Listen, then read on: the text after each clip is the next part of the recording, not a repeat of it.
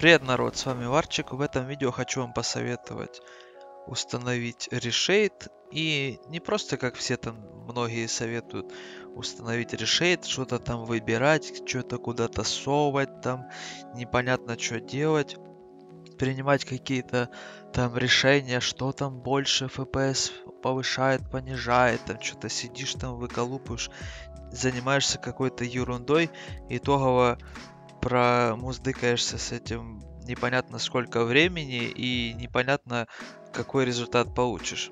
Тут все готовое. Прям как какой-то мини-мод.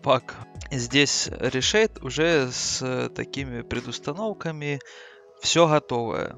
Просто есть инсталлятор маленький, устанавливаешь и все готово. В нем также можно установить, также можно и удалить.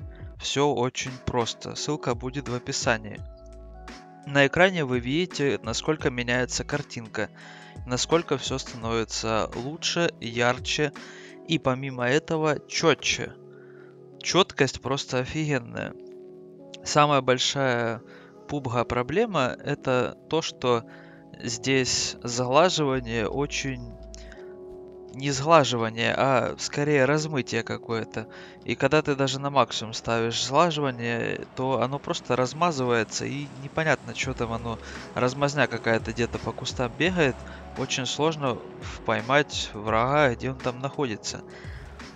Если убрать залаживание, то начинаются какие-то лесенки, и все такое вот э, квадратное, какие-то там решетки на дальняке дергаются все время, непонятно враг это или текстурка дергается, очень сложно что-то разобрать и глаза можно сломать. Переходя из другой игры в PUBG, очень сложно при вообще приспособиться к тому, чтобы замечать врагов. И это даже касается не только там всяких танкистов, допустим, у которых в игре враги подсвечиваются, обводятся контуром и сверху еще панелька хп. А здесь еще проблема в том, что чисто визуально нифига не видно. Все, либо все размытое настолько, что непонятная размазня, либо все настолько в лесенках и пикселях, что не, не ясно, что это там дергается вообще. При том, что текстурки на дальняке тоже дергаются. И ну просто вообще шок. Что же происходит, когда мы устанавливаем этот решейт? Там есть, во-первых, а, изменение яркости, изменение цвета, но при этом, при всем, также еще есть более выраженная текстура, более объемная, выдавленная, и все становится более такое четкое. Меньше становится вот этих лесенок, все становится более такое выделенное и четко понятно, где что где находится. При этом при всем, при желании можно поднастроить все самому. То есть это обычный решейт, просто с предустановками. На сайте там все описано, правда по-английски, но я думаю там все понятно, даже если вы не особо в английском разбираетесь. FPS потратите сколько? Ну, в пределах 2.5 написано на сайте. Я, по сути, вообще особо не заметил потери FPS. Я заметил то, что я хотя бы четко вижу врагов. А 2, 3, 4, 5 FPS, которые я потеряю, лично для меня это не катастрофично. Если для вас это катастрофично, вы в любой момент можете второй раз зайти в этот инсталлятор и нажать кнопку удалить. Также можно в игре нажать Shift плюс F2 то есть нажимаете две кнопочки, открывается менюшка, в конце видео все будет подробно там показано, куда тыкать. Там можно все эффекты включать, выключать. Также можно перейти на соседнюю вкладку из основной и Performance мод поменять на Configuration мод. В этом моде мы можем каждый эффект менять ползунками, полностью изменяя их под себя, что вам нравится. Нажимаем в игре Shift плюс F2. Открывается у нас менюшка решейда на вкладке Home.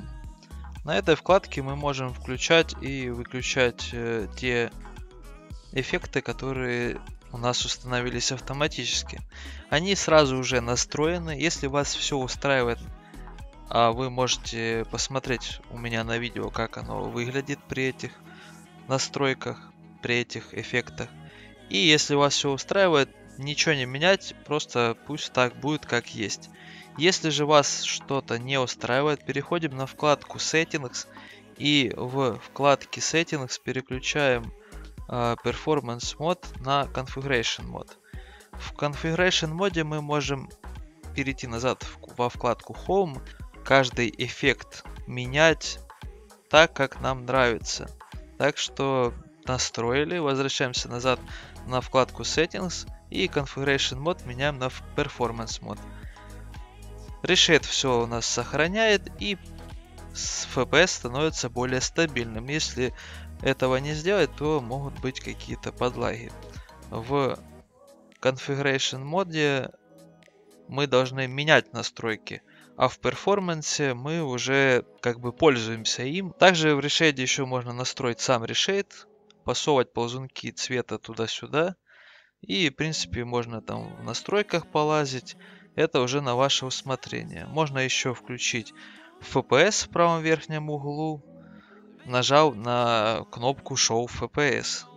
Также можно еще включить э, время, если оно вам надо на экране. Также и цвет можно поменять всего этого добра. Вот так вот, в принципе, оно и настраивается. Ах да, также еще есть кнопка, которая включает-выключает это все добро. Прям можно в игре это нажимать. Кнопка Insert включает, также она и выключает. Решает и не надо никуда ничего заходить. По поводу настроек, которыми пользуюсь я. Установил я этот решейт с предустановками. Все готовое, ничего нигде не менял. Все как было, так и есть. Вообще ничего не менял, просто показал вам, как можно его менять, если оно вам надо. По поводу настроек игры.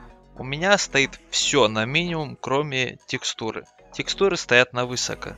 Если у вас видеокарта не сильно мощная, то текстуры тоже лучше поставить на минимум. Если у вас видеокарта на 2 гига, то можно попробовать на среднее. Если больше 2 гигов, то можно поставить, попробовать на высоко. Вот, в принципе, и все. С вами был Варчик, играйте красиво. Всем пока. Пишите обязательно комментарии, возможно, я чем-то вам помогу.